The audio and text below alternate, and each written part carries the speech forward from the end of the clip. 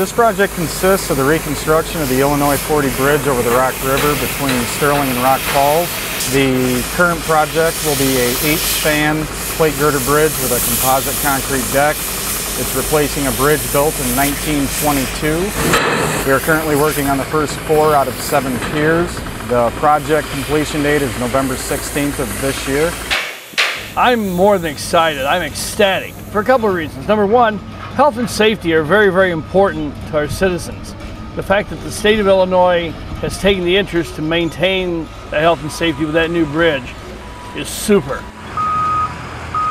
This bridge is going to be the gateway to our city. It'll have places that people can stand on the bridge and, and look out at the river. It's very, very scenic from that standpoint.